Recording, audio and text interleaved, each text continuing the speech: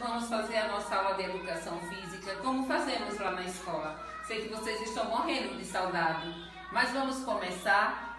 Pegue aí na sua casa um cabo de vassoura e vamos fazer uma posição para que o nosso corpinho fique inclinado.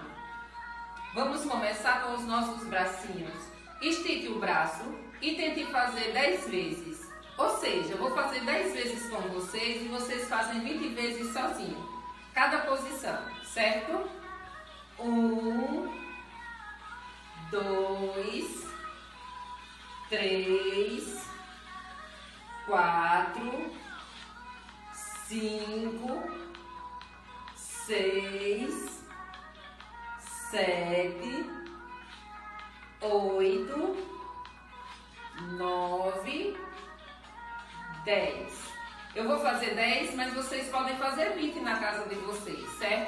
Vamos fazer 10 também do outro lado. A coluna reta, o bracinho esticado. Um, dois, três, quatro, cinco, seis, sete, oito, nove, dez. Agora vamos as nossas perninhas. Prestem atenção. Dez de um lado e dez do outro, sempre com a coluna reta. Um, dois, três, quatro, cinco, seis, sete, oito, nove, dez. Do outro lado.